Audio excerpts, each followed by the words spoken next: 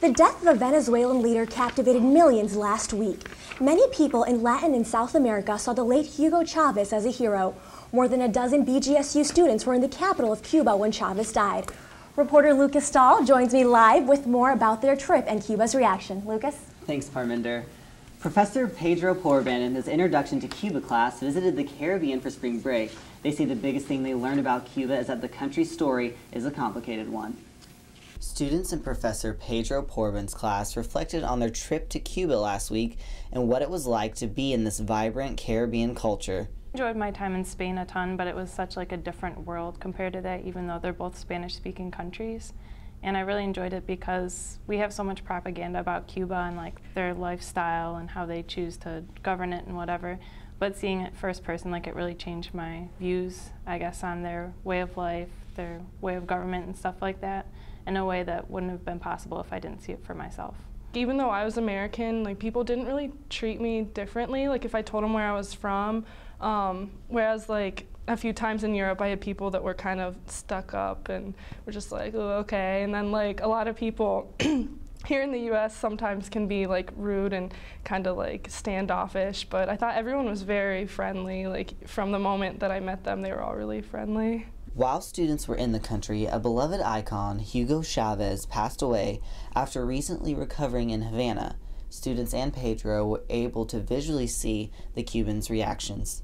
Hugo was basically like um, a son for Cubans, so like it was, it was. I knew it was gonna be hard, but I didn't know it was gonna be hit them that hard. Like uh, the ladies we stayed with, like they almost cried. So like it was like they took it hard. Uh, we were talking about before about uh, Chavez dead and how we experienced that in Cuba.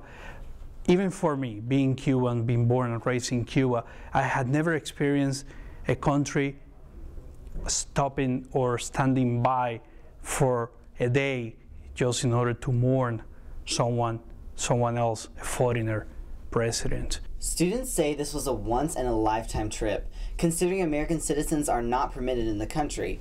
But this trip also helped alleviate a lot of previous stereotypes Americans had towards Cubans.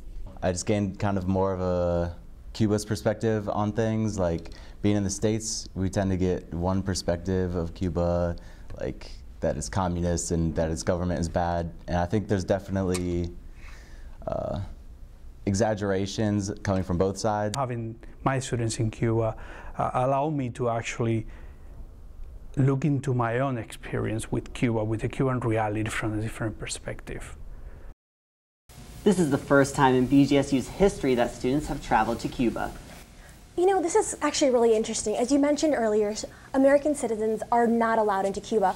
So would you mind explaining how were these students able to get into the country? It was actually a very long process. So Originally, Pedro had to go to Cuba and get special permission from the University of Havana. Once he was able to do that, he was able to come back to the States, file for visas for the mm-hmm. student, and get all the official documentation and paperwork. Mm. Once that had been filed, they were able to get permission from the U.S. government, the Cuban embassy in Washington, D.C. They were able to communicate with the Cuban government, and as long as it was for educational purposes, they were able to go and visit the country. Wow, definitely a long process. It really was, but they really enjoyed it. That's good, that's good. Thank you so much. Thank you. If you have any questions or would like to attend a future Cuban excursion, email Pedro Porben at porbenp at bgsu.edu.